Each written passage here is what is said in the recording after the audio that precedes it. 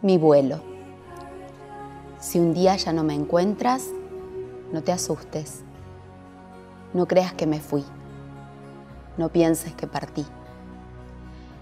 Si de pronto ya no estoy en los lugares cotidianos, en los espacios de siempre, tan habituales y conocidos, si a las horas diarias de encontrarnos y celebrarnos ya no estoy, no te angusties quiero que sepas que habré volado, liviana y etérea, hacia allí, directo a esa explosión de luz dorada, donde vos sabés que volveremos a ser uno.